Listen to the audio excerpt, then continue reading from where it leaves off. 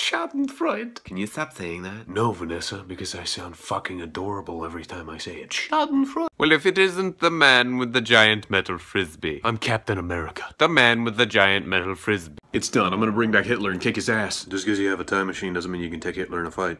Fuck you, John. But it. Hello? It is Heinrich.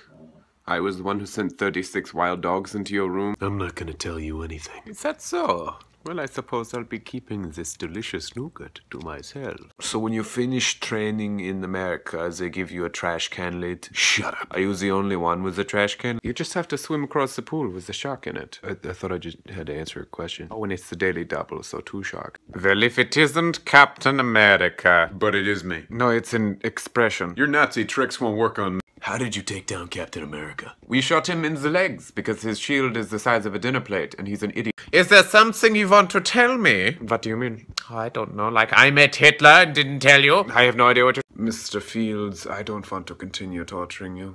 Yeah, you do. Yes, yes I do. This city must die before it is reborn. Fuck you. Fuck you! Hello everyone. Bill Nye is out on vacation. I am Bill Nein. Can I use the bathroom? Nein! Hello, Mr. Barnes.